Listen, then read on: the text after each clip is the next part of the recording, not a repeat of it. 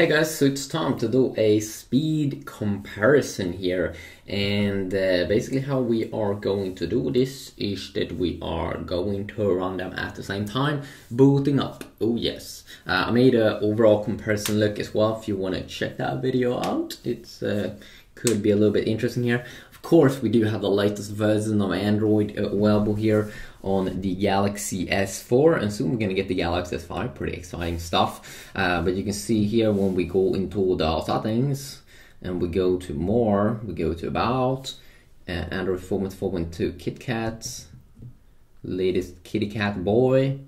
Oh yes, KitKat versus the Lumia 1520, which is running Windows Phone 8, as you can see on all these crazy tiles, 1080p display, quad-core smartphone, and some other interesting things. So let's just do this. Let's let's let's okay. Let's let's do this. Um, yum, yum, yum, so uh, one is smaller, even though the, the Galaxy 4 is still still pretty big boy. I mean, it is a big boy, and we all love it, and it's amazing, and it's crazy and all that. But I still want to do this. Oh, let's power off. Oh my god! Oh my god! Oh my god! Oh my god! And there we go, this one is off. Hmm. It seems like the Nokia Lumia 1520, the more you restart it and boot it up and stuff, uh, the more it, um, the faster it go becomes. Because like goodbye text was very very long the first times I did it. It was like crazy. Oh my god. Ooh. Nokia text. Oh yeah. Booting up the Samsung. Is Samsung. I think KitKat's gonna take this home.